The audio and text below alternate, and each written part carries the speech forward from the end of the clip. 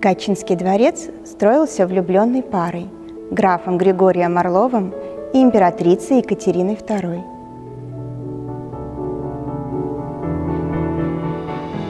И знает множество любовных историй и легенд.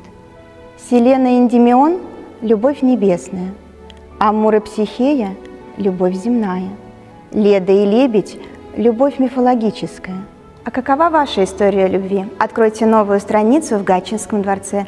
Проведите незабываемое мгновение в атмосфере императорской резиденции. Пройдите испытания на умение понимать друг друга. И ваша возлюбленная получит чудесный подарок в роскошных интерьерах XVIII века. Ждем вас в музее-заповеднике Гатчина.